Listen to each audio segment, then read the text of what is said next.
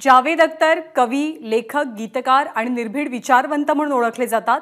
त्यांना विचारवंत का म्हणतात याचा प्रत्यय किंवा अनुभव पुन्हा एकदा आला मनसेच्या दीपोत्सव कार्यक्रमात. या कार्यक्रमात जावेद साहेबांनी हिंदूंबाबत अत्यंत मार्मिक वक्तव्य केलंय. हिंदू आधीपासूनच सहिष्णू आहेत आणि त्यांनी कधीही असहिष्णू होऊ नये कारण अन्य धर्मीय हिंदूंकडे पाहूनच सहिष्णुता शिकतात असंही ते म्हणाले.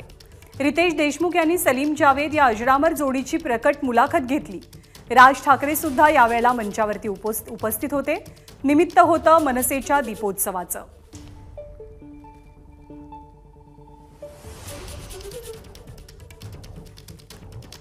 आपण पाहूया या मुलाखतीचा काही संक्षिप्त भाग.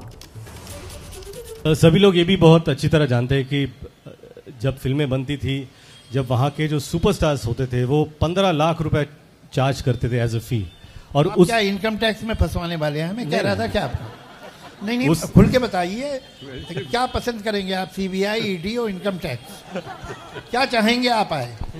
मैं सिर्फ़ यही पूछना चाहता हाँ, हूँ पंद्रह लाख पंद्रह लाख क्या है? हमें तो पता नहीं है इतने पैसे हमने कभी देखे नहीं। आपकी नीयत ठीक नहीं लग रही है। आपकी नीयत ठीक नहीं लग रही है। आप आप अंदर कर अंदर करवाना चाहते हो आप। आप गरीब राइटर्स का मज़ाक उड़ा रहे हैं? मैं पूछना चाहता हूँ कि बिल्कुल। आप आप अंदर करवाना चाहते हो? कि- भाई कि जिस जिस दौर में सुपरस्टार्स को पंद्रह लाख मिलते थे उसी फ़िल्म के लिए सलीम जावेद साहब को पच्चीस लाख रुपए मिलते थे। ये जो दौर राइटर्स का ऐसा था कुछ नहीं है इनकी मोहब्बत है। समझे आप? ये हमारी फाइलें खुलवाना चाह रहे हैं। वो होगा नहीं। और हमें कभी नहीं मिले ऐसे गलत बात। ना सिर्फ़ ये कि ये सही नहीं है ये काश ये सही होता लेकिन है नहीं। लेकिन ऐसा भी है कि आप ही के दौर में राइटर्स को एक्टर से ज़्यादा रेम्यूनरेशन मिलता था। एक्टर बहुत कम पैसे लेते होंगे उस जमाने में। लेकिन अगर आपसे पूछे कि आज के दौर में एक्टर्स को अगर एक आपको सलाह देनी हो तो क्या होगी वो? राइटर्स को सॉरी हम सर राइटर्स को सलाह देनी। बहुत कम एक्टिंग करें कि हम अ, सफलता भी जल्दी चाहते हैं। उसमें टाइम लगे ये हमें फुर्सत नहीं है। तो जो तैयारी पहले होती थी, वो चाहे लता जी की हो, चाहे वो आशा जी की हो, चाहे रफ़ी साहब की हो, और चाहे बड़े बड़े म्यूज़िक डायरेक्टर्स की हो, बड़े राइटर जो राइटर्स थे पहले दौर में, वो बहुत पढ़े हुए लोग थे। ऐसा नहीं था कि उन्होंने चार फ़िल्में देख ली थी और दो नावल पढ़ ली थी और राइटर बन गए थे। उनकी बरसों की पढ़ाई थी उनके पीछे। वो जानते थे, जबान भी प्लॉट भी कैसे कैरेक्टर बनता है, कैसे उसका एक्सप्रेशन बनता है, कौन सा कैरेक्टर क्या भाषा यूज़ करेगा, कहानी क्लामिक्स की तरफ़ कैसे जाएगी। इसलिए कि उन्होंने classical literature light literature popular literature not so popular literature हर तरह का पढ़ा होता। तैयारी चाहिए। आजकल हर काम में तैयारी कम हो गई है। जब हम लिखने की बात करते हैं तो फ्रीडम की भी बात करते हैं कि लिखने वक्त किस फ्रीडम कितना मिलता है? टू राइट क्या आपने कभी आपके दौर में ऐसी झिझक थी कि आपको फ्रीडम नहीं मिला या आपने वही लिखा जो आपको सही लगा? नहीं ये तो हर जगह से ये लिमिटेशन हैं आप गाड़ी चलाते हैं तो उसके अंदर भी है कि जितनी स्पीड से ऊपर नहीं चलाएँगे। आप हर चीज़ में ही है। भैया आजकल ऐसी पिक्चरें बनती है फैमिली के साथ तो देख नहीं सकते। सुना है? अकेले देख सकते हो? वाह! कमाल के आदमी हो तुम तो। तो फिर फैमिली वाले भी अकेले अकेले देख लेंगे। है ना? अरे भाई, अगर कोई चीज़ बुरी है तो बुरी है। वो चाहे तुम अकेले देखो या फैमिली के साथ देखो, सब फैमिली के साथ तो देख नहीं सकते। बल्कि पिक्चरें मैं अकेले ही देखता हूँ। अरे, ये क्या बात हुई? लेकिन, ठीक है, जिस तरह के इन्होंने फ्रीडम ऑफ़ एक्सप्रेशन की बात कही है, वो कहीं कम तो हुआ है, इसमें कोई शक नहीं। मैं तो कई बार कह चुका हूँ, आज फिर आपको बताता हूँ। शोले, आज हम लिख रहे होते तो वो सीन जिसमें वो मंदिर में जाती है और वो पीछे धर्मेंद्र जी खड़े होते हैं ये सीन मैं नहीं लिखता और ये भी नहीं लिखते। आज इस पे तमाशा हो जाए। लेकिन उस वक्त ये अकेली नहीं थी और भी एक संजोग थी। संजोग फ़िल्म थी जिसमें ओम प्रकाश जी ने पूरा कृष्ण सुदामा की कहानी फिल्मी गानों में सुनाई थी। आज सुना के देखो। तो कहीं सोसाइटी में अब कोई बुरा माने तो प्रूव करेगा मेरा पॉइंट कि इंटॉलरेंस बढ़ गया है। और अच्छी बात नहीं है। और एक खास तौर से बताऊँ, कुछ लोग होते हैं जिनमें तो हमेशा से इंटॉलरेंस था। हिंदू ऐसे नहीं थे। हिंदुओं की खूबी ये है कि उनमें एक विस्तार और उनका दिल में एक विशालता हो रही है हमेशा।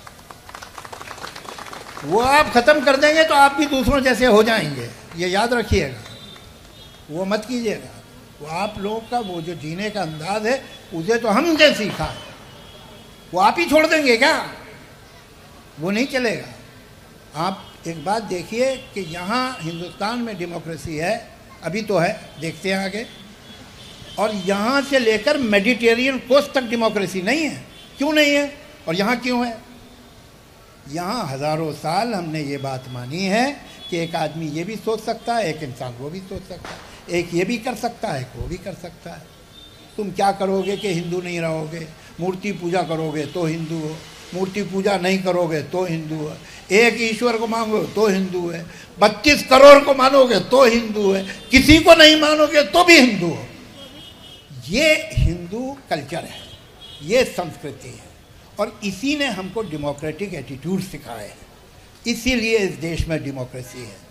ये सोचना कि हम सही हैं और सब गलत है। ये हिंदू का काम नहीं है।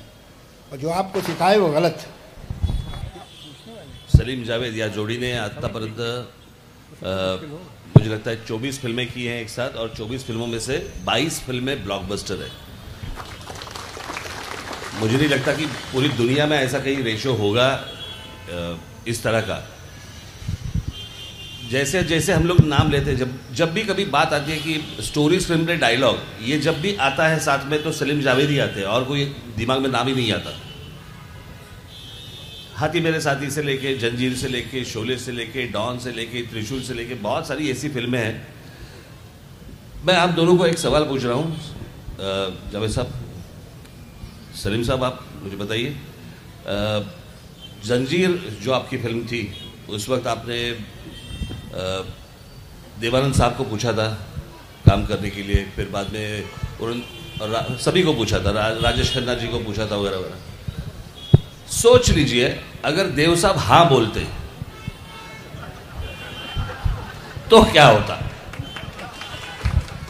अगर अगर हाँ करते तो एक जंजीर जंजीर अलग किस्म की फ़िल्म फ़िल्म होती। सबसे जी। और- और हमको शायद ज़रूरत पड़ती कि हमको खुद डायरेक्ट करना चाहिए। आप, ये राइटिंग का काम जो जो है ये ठीक नहीं है। एक मैगजीन था सुपर बंद हो गया। उसमें जो उसकी चीफ जर्नलिस्ट थी उनका नाम था पम्मी बख्शी। उन्हें एक आइडिया आया कि सलीम को अलग और जावेद को अलग डाउन मेमोरी लेन ले जाती। तो इनको जिस आके ये गेस्ट हाउस में ठहरे थे वहाँ ले जाके तस्वीर खींची। फिर ये माहिम में जहाँ बैठते थे जिस रेस्टोरेंट में वहाँ की तस्वीर खींची। फिर बड़ा बड़ा जो उनका पुराना घर था उसकी तस्वीर और कहाँ कैसे रहते थे कौन दोस्त ये सब। फिर मुझे भी उन्होंने ले गई कार में। तो मैंने एक जगह खार में गाड़ी रुकवाई। मैंने कहा ये पोर्च देख रही हैं आप बंगले का? मैं इस पोर्च में बहुत सोया हूँ। मैं बाहर सोता था तो यहाँ जो मालिक थे उसके उन्होंने से मेरी सिगरेट की दुकान पे मुलाकात हो गई थी। ये सिक्सटी फोर, सिक्सटी फाइव की बात। तो उन्होंने सोचा है, कुछ पढ़ा लिखा लड़का है तो कहले बेटा, तुम इस पोर्च में सो जाया करो, बारिश वारिश आने वाली है, कोई हर्ज नहीं, तुम यहाँ सो जाओ। तो मैं उस पोर्च में सोता। तो मैंने वो पोर्च भी दिखाया। उन्होंने मेरी फ़ोटो भी ली, फिर आगे चली जा रही थी कहा। तो उन्होंने वही सवाल पूछा, जो अभी राज जी ने पूछा, कि वो अगर देवन ने वो पिक्चर जंजीर कर ली होती तो तो मैंने कहा, मैं उसी पोर्च में सो रहा होता। प्रॉब्लम क्या है? सर वो शोले में गब्बर सिंह की भूमिका डैनी करने वाले थे। अगर वो हाँ बोलते उनके पास डेट्स होती तो गब्बर सिंह इतना बड़ा होता क्या? या फ़िल्म सिर्फ़ नेपाल में चलती? नहीं वो असल में उनको चॉइस थी कि वो धर्मात्मा जिसकी शूटिंग अफ़गानिस्तान में है जी। वो करे या शोले करे। तो उन्हें कुछ आउटडोर का ज़्यादा शौक रहा होगा तो वो अफ़गानिस्तान चले गए और उसकी शूटिंग की। उसके बाद से जो अफ़गानिस्तान का हुआ वो आपको पता है। लेकिन अगर, लेकिन अगर वो करते तो गब्बर सिंह इतना बड़ा कैरेक्टर ये मैं आपको गब्बर सिंह के बारे में एक बात बताऊँ। ये गब्बर नाम कहाँ से आया? सलीम साहब के फादर बहुत बड़े पुलिस ऑफिसर थे महाराज। सलीम साहब उनके किस्से मुझे सुनाते थे। तो एक गब्बर डाकू था वहाँ पर और मशहूर डाकू था।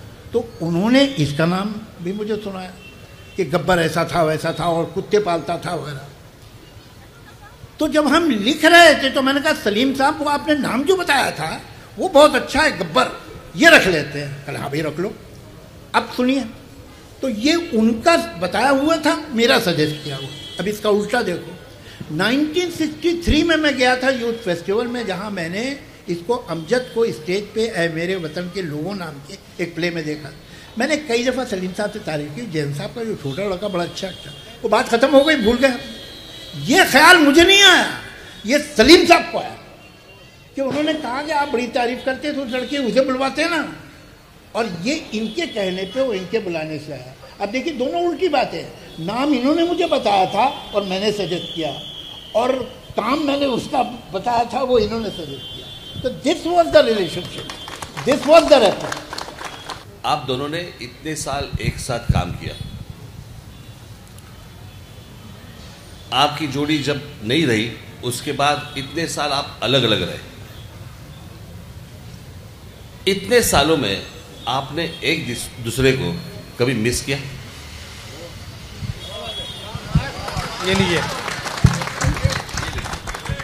मैं आपको ये एक छोटा सा एग्जांपल दूँगा कि एक छोटी सी बात है कि जब आदमी का पाँव कट जाता है खुदा खासा किसी भी वजह से आदमी का पाँव कट जाता है तो कई मरतबा उसका हाथ जाता है कि जैसे कि टखने के ऊपर खुजली चल रही है।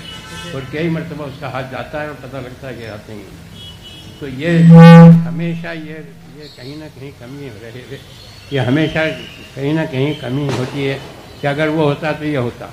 ये होता तो वही होता। ये हो ये होता तो ये होता। तो वो जैसे इतनी आदत पड़ जाती है कि ये ये ये है, साइकोलॉजिकली है कि पाँव कट गया है। और खुजली चलती है एंकल में, और उसका हाथ जाता है। तो this this is the feeling which has always been there